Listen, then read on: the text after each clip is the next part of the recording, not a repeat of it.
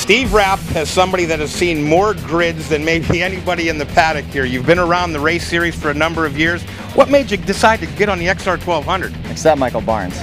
Pardon? Except Michael Barnes. Except Michael Barnes. Um, well, you know, uh, at the end of the season this year, there was uh, a lot of new changes, and this class was fairly new. And I, uh, an opportunity came up where I worked with Jim Leonard uh, before when I rode with them on Ducatis, and we had talked a little bit last year, and he said, you know, if you want to try the bike, you know, give me a call. And it was about January or late February, um, getting close to Daytona, and I was like, hey, let's go to Daytona and try this out, and let's see what it's like. And so we did that. It went pretty good, considering um, first time on the bike was there, and uh, and then we just decided to just do the whole season and uh, kind of just keep moving forward.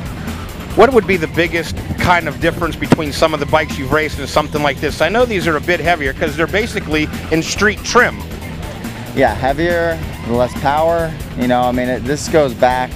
You know, this design is an old design, so it goes back to, you know, um, early 70s maybe, like when those guys were dirt tracking. This is basically the same design that they rode.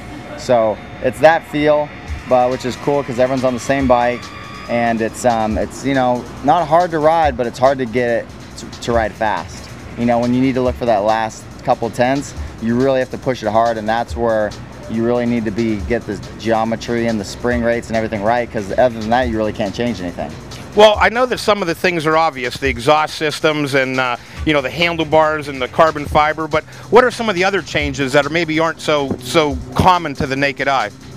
Well, I mean, not a lot. I mean, you know, you change the 17-inch front wheel from the 18. You put different suspension on, uh, more racier, more adjustable a little bit, things like that. So other than that, nothing. I mean, they take off all the lights and signals and all that, and that's it. So if you go down to your dealership and you want to race one, it doesn't take a lot to get it out here. That's the best part of it, affordability and the dealership involvement. We're going to MotoGP in Indianapolis coming up, and we've been talking to a number of the riders about how excited they are. The last time I saw you there, you were recognized for your Daytona 200 win by Valentino Rossi himself. That had to be pretty amazing. Yeah, that yeah, the Daytona 200 win was was amazing for me. A great day, and uh, to have Valentino Rossi acknowledge it and give me a a little thing, uh, you know, because we're both sponsored by Dainese and AGV. They had a little little plaque that he had signed, so I was totally honored to be a part of it, and uh, happy to looking forward to going to Indianapolis and being a part of their show. Well, I'll tell you what, you keep your eye on Steve Rapp at Indy. He's going to be somebody up front. He's somebody you can count on to put on a good show, and he's part of the Vance and Hines Army as well.